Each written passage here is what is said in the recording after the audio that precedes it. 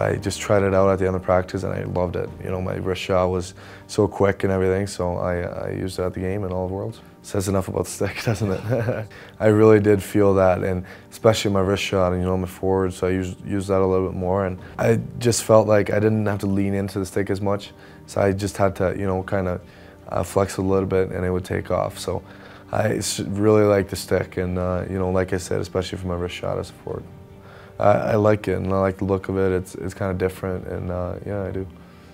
I was trying to tell myself the goalies couldn't see the stick or, or the puck or anything, but Varlamov, he, he didn't agree with me.